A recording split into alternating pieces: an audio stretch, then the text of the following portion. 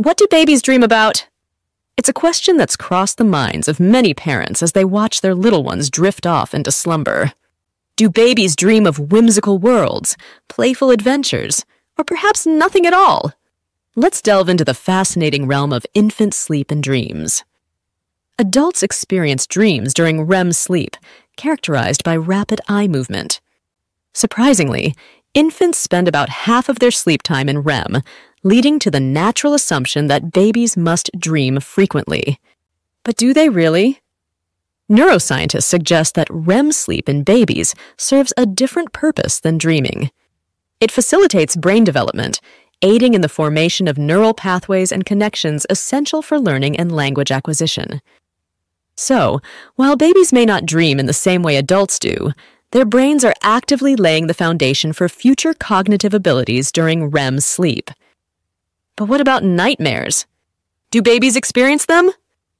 Since babies don't dream in the conventional sense during early stages of development, it's unlikely that they have nightmares.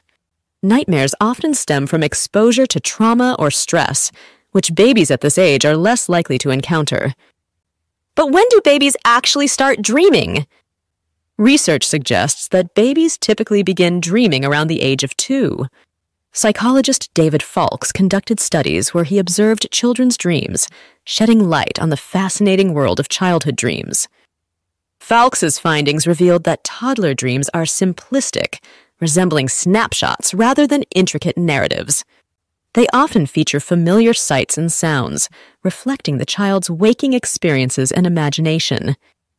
As children grow older, their dreams evolve, between the ages of 5 and 9, dreams become more dynamic, incorporating moving images and multiple events.